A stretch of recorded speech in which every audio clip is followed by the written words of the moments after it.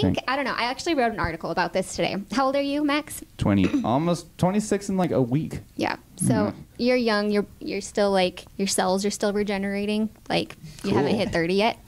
And I think it's kind of crazy because everybody in their teens and 20s just is worried about being attractive, and it's this weird thing of like comparison, and I don't know.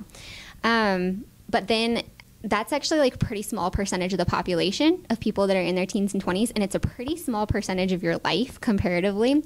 And there's just something like intrinsically just beautiful and wonderful about youth. You know what i mean? So you could be like an ugly young person but just being which i'm, I'm not i'm not saying anybody is here. Anyways but just even if you're an ugly young person, you're still a young person, and that in and of itself is just like wonderful. You know what I mean? And so I think we all need to have that perspective of like we're all getting older, and so just being grateful mm-hmm. for like youth and just like And even vitality. Yeah, But even then, we're all gonna lose our youth, which It's true. I've definitely crossed that. I, I'm 40, Hold up. Max. I turned 40 this year. Well, you So- look 35. But Oh, my thanks. dad told me two things that stuck with me forever. I hated when he said it until a few years ago and they finally clicked.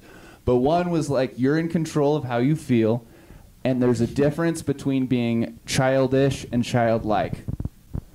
Very and true. you can always be childlike. yes. I like it. But if you're childish, you're annoying. Like, shut Yeah. up. But like, Okay, Yeah. but moving away from being like profound about stuff, you have like those blonde eyelashes. You know what I mean? And it's like really like different looking. And sometimes I feel like like okay, I watched a lot of like America's Next Top Model when I was in junior high school, and that's what they always say is that you want to have something if you're trying to get into the industry that like stands out. And so when we saw you for casting, we were like those blonde eyelashes. That's where it's at. Yeah, because that, people are that gonna. was exactly That's what all I we thought. talked about. interesting. like, I'm not like trying to make. I just that is. I've never heard that.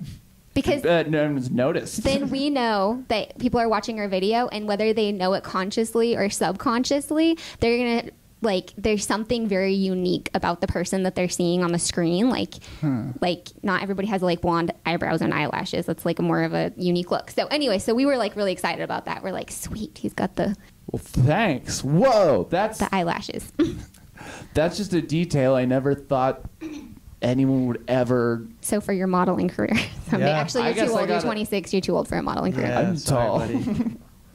Uh,